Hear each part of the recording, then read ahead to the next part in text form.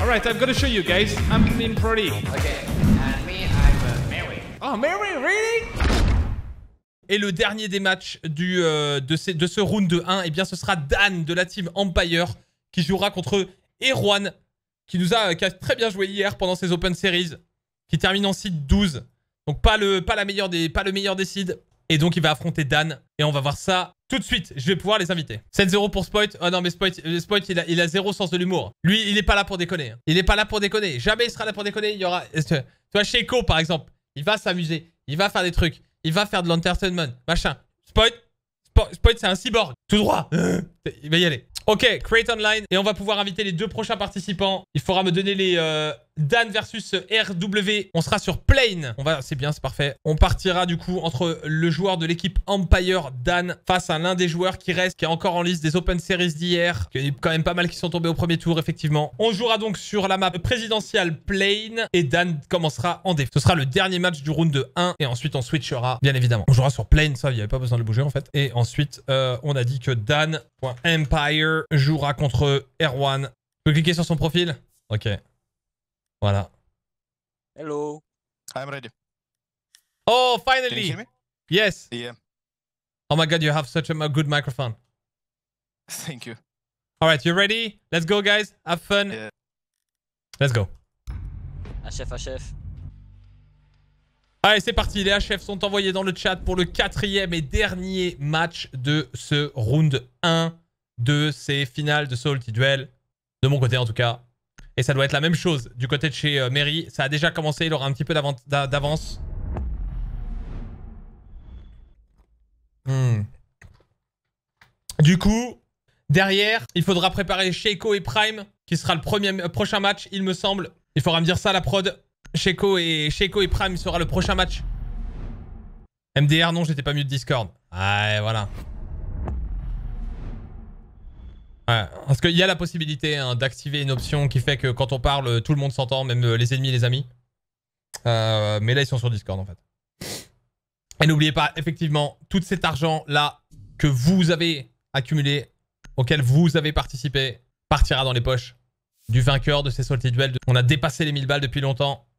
Et même si on les dépasse, même si on arrive à 2000 euros, 3000 euros, 10 000 euros, ça partira dans les poches du vainqueur. J'insiste. Et Dan qui part sur un Oryx. Ça va pas être simple. Hein. À mon avis, euh... je sais pas. Je sais pas si on va troll ou... Enfin, pas troll, mais... Alors ça, c'est pas con Oryx. Ça permet quand même d'avoir des trous de rotation extrêmement rapidement. Même si on perd quelques HP au passage. Et l'endroit où il a fait un trou de rotation est très bien parce que c'est extrêmement chiant d'attaquer à cet endroit-là. On va prendre l'information, visiblement, et on va s'apercevoir qu'il n'y a personne au niveau de ces deux spawns. En tout cas de ce spawn-là. Donc euh, derrière, bah, il n'y a que deux autres possibilités. Soit il est euh, au niveau de la queue de l'avion, soit il est complètement sur la façade sud de l'avion. Et en l'occurrence, on est sur façade sud avec une insertion au niveau du, cockpit du côté d'Erwan. Et n'oubliez pas, allez les voir. Allez lâcher un follow sur la chaîne. Dan, ça fait pas longtemps qu'il lance... euh, Allez voir. 3-0 pour Spoit. Non mais Spoit, Spoit est en mode euh, pas déconnade du tout lui. hein. Je vous le dis, hein, euh, il s'adaptera pas au niveau en face, etc. Il en a rien à foutre. Il en a rien à foutre. Il pourrait, jouer contre, une, tortue aveugle qui, qui, qui, qui donnerait tout, quoi. Il rigole zéro. Il rigole jamais.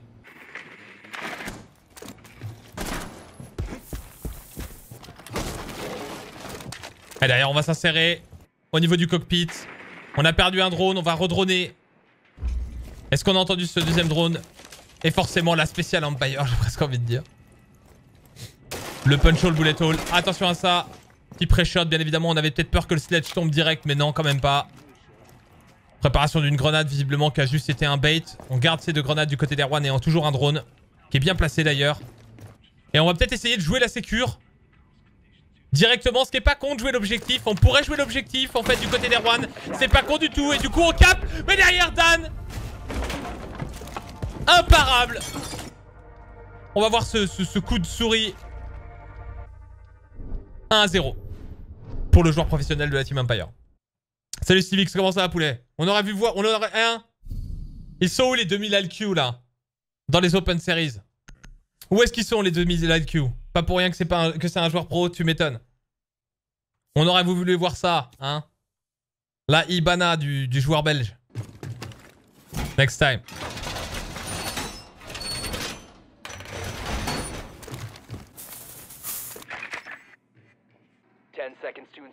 On est bien du côté de Dan. On est sur un top player du top team, donc forcément le droning et le fait de pas perdre son drone, on connaît bien, surtout du côté de chez Empire, qui a pendant très longtemps été euh, peut-être euh, reconnu par leur père comme étant l'un des meilleurs droning de Rainbow Six.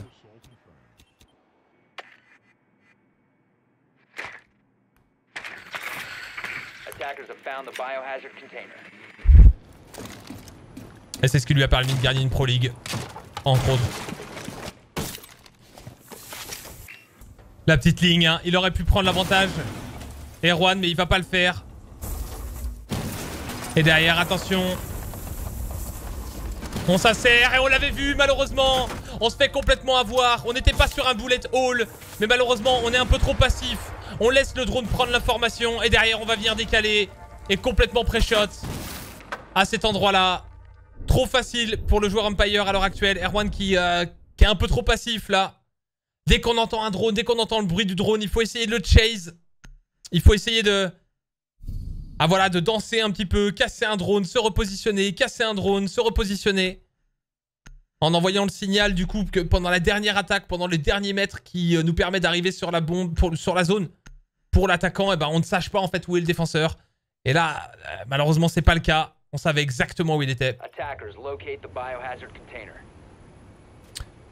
Et n'oubliez pas, on est en squad mode.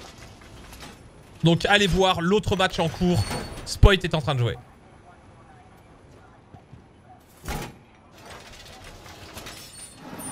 Et on continue avec son Oryx. Hein. Attacker drone has located the biohazard container. Ten seconds to insertion. Setup simple. Five seconds to go. On met des petits renforts. Les plus petits renforts d'ailleurs. Et Oryx, bon bah voilà, c'est un MP5 avec, euh, avec la coque, ça marche bien, on le sait bien. Avec le sans la coque pour le coup. Alors il le joue sans la poignée inclinée, ce qui est assez drôle. Enfin, il le joue. Sans la poignée inclinée, ouais. Ce qui est assez marrant, parce que le MP5 est pas non plus... euh, surtout avec un ACOG. Ça a pas un recoil absolument exceptionnel. Et d'ailleurs, on voit le montagne. Eh ouais, mais le montagne face au Oryx, est-ce que c'était le meilleur choix? Attention. Et là, ça va commencer. Le bataille du moule. Comme Sheko l'a mis tout à l'heure. Peut-être un énorme tête là. On a mis le laser en plus. On cède un petit peu sur le hipfire forcément. Et on danse. On a pris quelques dégâts de part et d'autre.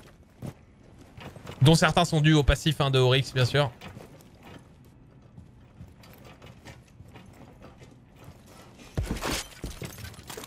Et on bait.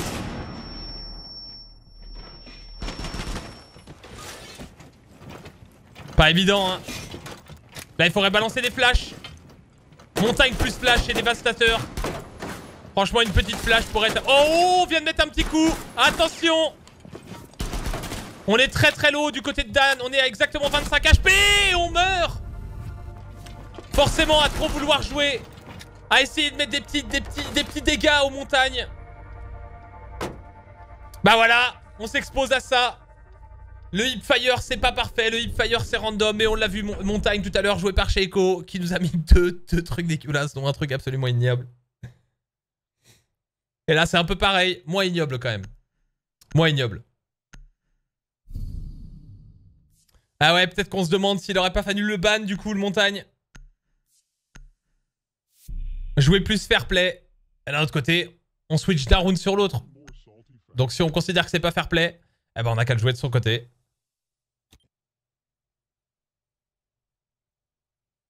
Attackers locate the biohazard container.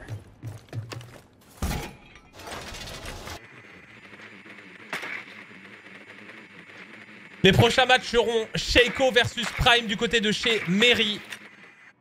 Et pour nous, ce sera le vainqueur de Spoit face à RZ qui jouera contre RX, qui on le rappelle, Redix pardon.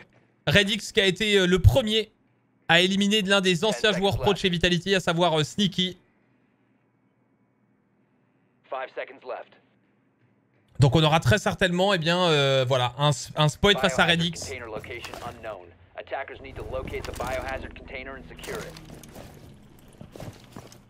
Et on prend un mute. Ce qui est pas con du tout. Ce qui est pas con du tout. Tout à l'heure, il s'était fait avoir. Il a réfléchi. Il s'est dit, ok, par rapport au pré-shot que j'ai pris, c'est pas possible. Il avait cette information-là. Il joue super bien son drone. On le voit, le drone à, à droite, qui est très très bien, qui fait pas beaucoup de bruit surtout. Mais derrière, on a un mute. Donc il va falloir danser avec les jamers.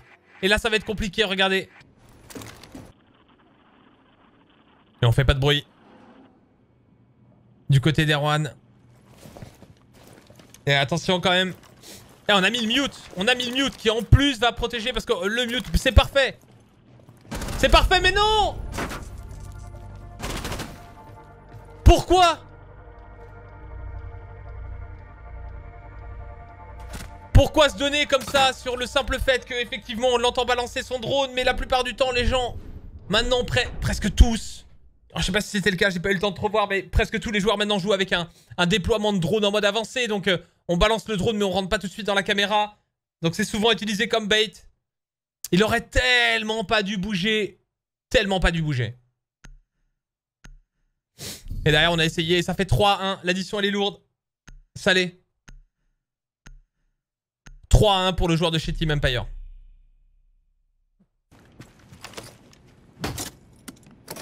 Et on décide de prendre une Yana du côté de Erwan.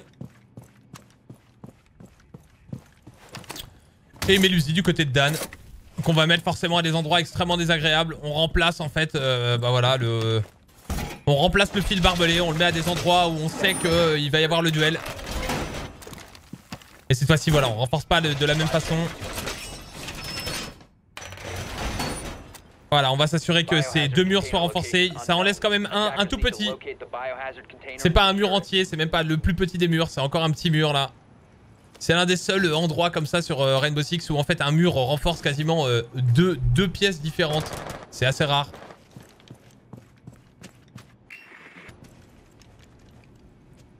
Et merci infiniment à Senna, nouvel étudiant du campus de la Salty Academy. Bienvenue à toi sur le campus, poulet. Ou poulette. Nouvel étudiant. Ou étudiante. Bienvenue à toi.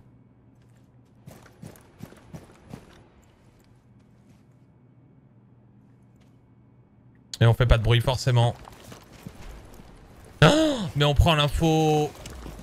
On prend l'info tellement facilement du côté d'Erwan. Est-ce qu'on va pouvoir surprendre pour autant? Non, forcément, puisqu'il y aura une... On va se retourner instantanément du côté de Dan. Dès qu'il y aura un bruit pour lui. Eh ouais, forcément, on se fait un peu surprendre. On se repositionne. On va pouvoir se défaire de, cette mélusie, c'est bien. On y va objectif par objectif. Et on va prendre l'information. Est-ce qu'on va vouloir euh, jouer le duel tout de suite? Le bait est envoyé, mais on a compris, je pense. On a compris que c'était qu'un duel. La grenade n'est pas cookée, malheureusement. Elle aurait pu faire extrêmement mal. Et derrière, on a pris un léger avantage. On arrive. On fait le même bait hier qui avait été utilisé euh, deux fois avec succès, avec brio par Prime. Mais là, cette fois-ci, on a entendu la fin de, de l'holographe. L'hologramme, pardon. On sait que c'est un hologramme du côté de, de Dan. On pré-shot, mais on rend les coups.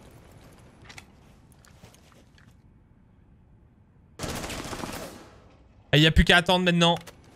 Est-ce qu'on a un autre drone? Oui, il reste un drone. Peut-être que ce serait bien de droner. Il reste 40 secondes. Jouer avec son drone. Prendre le temps de jouer avec le drone. Et on pré-shot. On met quelques balles encore sur Dan. Qui perd quasiment euh, 26, 27 HP. C'est intense.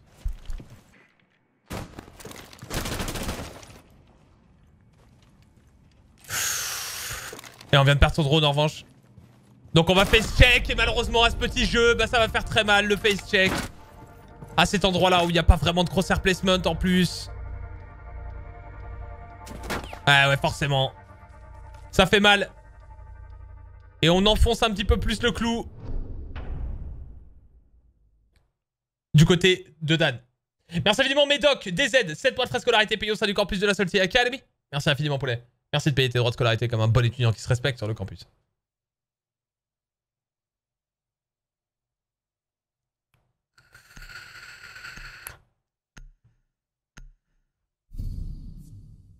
Et 4 à 1 pour Dan.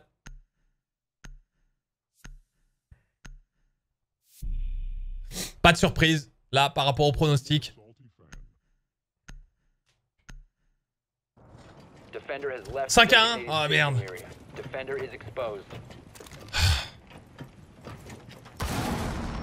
Oh, et ouais, c'était un montagne en face. Attendez. Il a trigger le montagne. Il a trigger le capcan et du coup il a dodge. Mais ça a donné énormément de dégâts sur Dan, c'est ça Et d'ailleurs, on va essayer de passer. C'est très compliqué. On met énormément de dégâts. Ah, mais non, derrière, bien sûr. Le montagne au contact.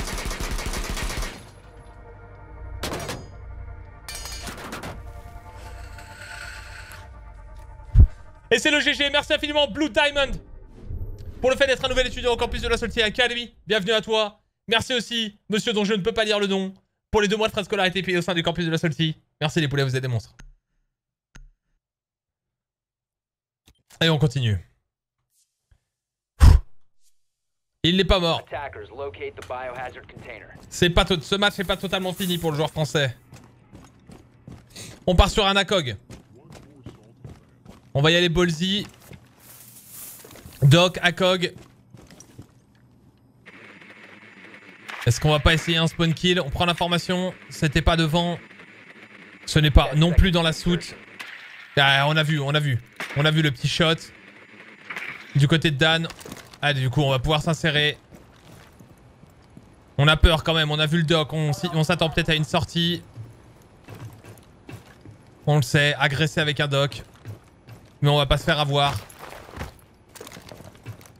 Derrière, tranquillement, on va venir prendre l'information et le pré-shot. On imagine que le doc n'a pas bougé de son endroit là-bas, ce qui est le cas en plus. Et voilà. La stratégie de l'oignon. On avance tranquille. Et on passe par des endroits auxquels on ne s'attend pas forcément. On vient de se rappeler qu'il y avait une caméra, je pense, du côté de Dan. En la re-regardant sur le, drone. Donc on se dit que ce serait peut-être bien de, s'en défaire. Personne n'a son contact au niveau de la kitchen. Mais on n'a aucune information sur la position à l'heure actuelle du, du défenseur. Et il faut la prendre cette info. Et il reste qu'un drone pour le faire. Donc là pour le moment, avantage à la défense. On perd énormément de temps et on va prendre l'information. Donc derrière, il faut réagir en se disant voilà, il peut bouger ici. On a la caméra dont on va se défaire. On balance un énorme pré-shot qui connectera pas. Et derrière, oh magnifique de la part de Dan. Énorme flick shot. Le face check énorme. Mais qui paye de la part du joueur russe. Et ça fait 6 à 2, alors que de l'autre côté, Spoit a gagné 7 à 2. Alors que Spoit a partagé apparemment, vous m'avez réveillé, je rigole plus. Il rigole jamais, de toute façon, sur les sorties duel Spoit. Jamais. C'est un Suédois, ils connaissent pas l'humour là-bas, je pense. C'est pas possible. Et du coup, on aura donc un Spoit versus euh, Redix qui s'est défait de Sneaky, l'ancien joueur de Vitality. La surprise, sur... vraiment, je pense qu'on peut le dire. L'une des surprises de ce Salty Duel. En tout cas de ces finales d'aujourd'hui. Il y en a eu quelques-unes des surprises. Et merci infiniment Defeneos, nouvel étudiant du campus de la Salty Academy. Bienvenue à toi sur le campus, poulet. Merci beaucoup de payer tes frais d'inscription. Et on prépare un petit bullet hall là-bas, comme on sait bien le faire. Du côté de Dan. Attention, le problème du bullet hall, c'est toujours la même chose. On en parlait hier, c'est que souvent, eh ben, on voit pas les drones. On ne voit ni on n'entend pas. Bon, après, c'est un bullet hall euh, à côté d'un trou qui laisse passer le son pour le coup. Et on va venir direct. On a compris que c'était un montagne. On veut même pas lui laisser le... 4 balles de match. 4 balles de match, du coup. Que le joueur français doit sauver. Ça va être compliqué pour lui. On veut pas le laisser avancer. On veut pas, on veut lui mettre la pression. Et la flash en revanche, attention la flash Mais ouais Oh là là là là là là Très intelligent de la part de, du Oryx. Oh là là, il a sponge énormément le montagne, mais c'est un 3 de vitesse. Oh, et le hipfire qui passe. Et on sauve la première balle de match. Et il en reste 3 encore à sauver. Et 6 à 3 entre Dan et Erwan. Attackers locate the biohazard container. Première balle de match sauvée par Erwan. Est-ce que ce sera encore le cas? Même duel que tout à l'heure? Non, pas du tout.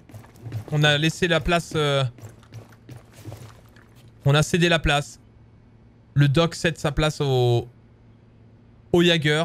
En revanche, du côté de Dan, on continue tranquillement. Et là, c'est intelligent. On fait pas de bruit. On va essayer de prendre l'information du côté de Dan. Mais on l'a pas, cette information. Et plus... Moins on a l'information, plus on casse les drones. Il drone bien, il drone extrêmement bien, forcément. Merci infiniment aussi à Matt pour, les, euh, pour le fait d'être un nouvel étudiant au campus. Merci poulet, un monstre. Et on se chie complètement sur son lancer de drone. 3 balles de match encore, comme vous le voyez en haut de l'écran. Et je crois pas qu'on ait cassé de drone en plus, et là c'est un peu problématique par rapport à tout à l'heure. Il a récupéré ses deux drones. En tout cas, il les a toujours en vie. Et on va s'approcher forcément aux portes. C'est qui ça? C'est. Ça va? Ouais, ouais, tout se passe bien de mon côté. Nickel. C'est un, su- c'est un suspense incroyable euh, qu'il y a eu. Il y a eu 7 à 2 pour Spoit, arrête de te foutre de ma gueule. Non, non, mais un suspense. Oh Et de côté 7 à 2. Et ici, ça fera 7 à 3. Pour le joueur des Empire. 7 à 3 pour le dernier match de ce round 1. De chacun des côtés. On est pile synchro. Ah, on est merveilleux, on est merveilleux. On est bon. On est très bon. On est bon, on est très bon. On a une qualité offensive euh, de. Alors moi, tout le monde me félicite pour mon, pour ma qualité de mes castes. Alors je suis très content. Je kiffe ça caster. hein. C'était génial. C'est vraiment super. Les gens sont enthousiastes. Euh, ils disent, ils en arrivent même à dire 6-4 moyen.